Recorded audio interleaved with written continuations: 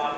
Super Cup, Larry ten Voorde has got to start as the favourite, and a lot of this is going to be down to the start there. He gets away well, uh, it might be hard to beat, but we will see because the grid is forming. We've got the last few cars trickling out of the Copse corner. If you are Philip Sargo, who is at the back of the grid, you're not going to see the light, you're just going to have to go with everybody else because he's uh, halfway around the club running at the start of the race. But one by one, staggered grid.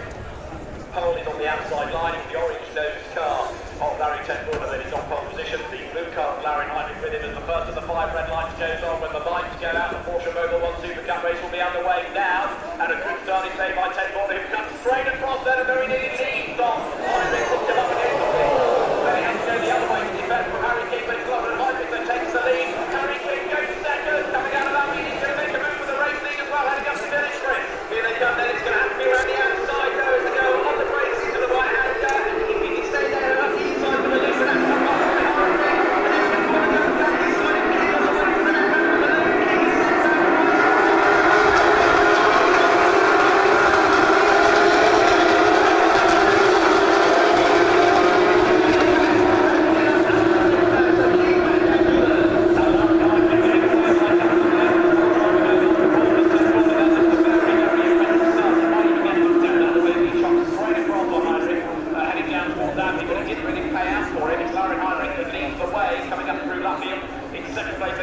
They